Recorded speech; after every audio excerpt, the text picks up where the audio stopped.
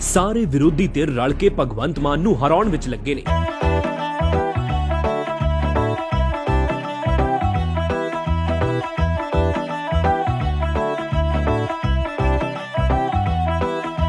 ਕੱਬੇ ਦੇ ਸਵਾਦਾ ਬਾਲਾ ਹਰ ਵੇਲੇ ਸੱਚ ਬੱਲੀਏ, ਸ਼ਬਦਾਂ ਦੇ ਕੋਲੇ ਹਥਿਆਰ ਰੱਖਦਾ, ਕੋਲ ਲੰਘਦੇ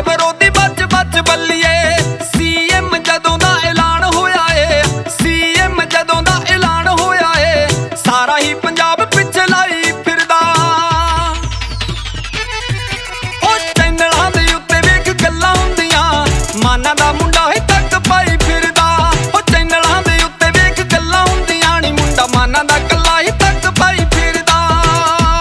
ਹੋਏ ਹੋਏ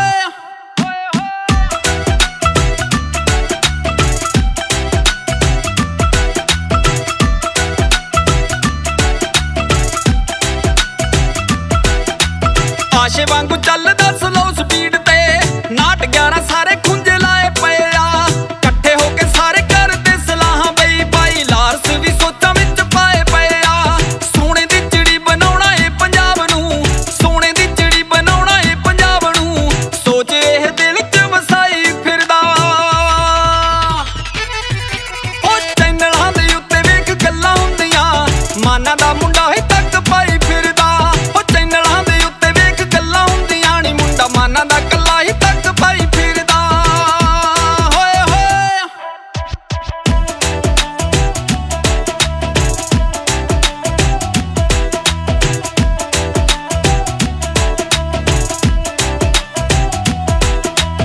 ਦਸ ਸਾਲ ਹੋ ਗਏ ਪੂਰੇ ਐਮਪੀ ਬਣੇ ਨੂੰ।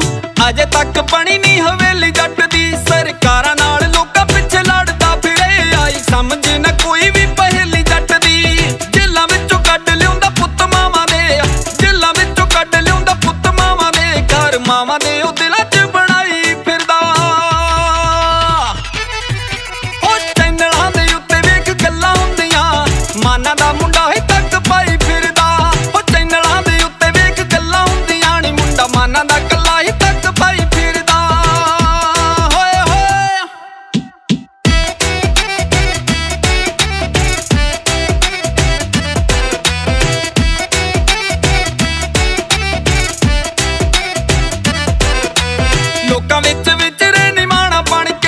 comedian